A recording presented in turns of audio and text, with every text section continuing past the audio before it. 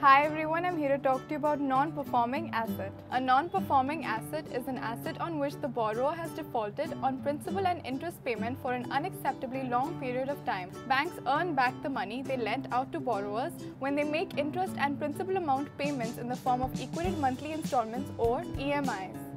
Non-performing assets or non-performing loans are seen as greater risk by bank and financial institutions. An asset becomes a non-performing asset when it no longer generates income for the bank or financial institution that extended the loan. In India, an asset is classified as a non-performing asset according to the guidelines of the Reserve Bank of India.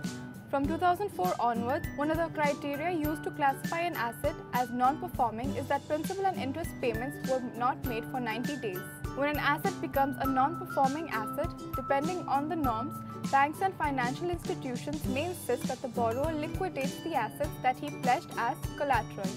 But in cases in which this does not apply, banks may write them off. If you had pledged your home as collateral when the bank extended mortgage loan, the bank will have claim over your home if you default on a payment for a prolonged period.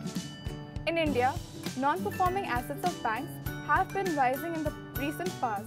On October 20th, Prime Minister Narendra Modi said the Indian government will be infusing rupees 70,000 crores into public sector banks to help them tackle the problem of distressed assets. Thank you for watching the video. If you want us to simplify any other real estate related terms, please write in the comments section below. Hit like if you like this video and subscribe to our channel to learn more real estate jargon.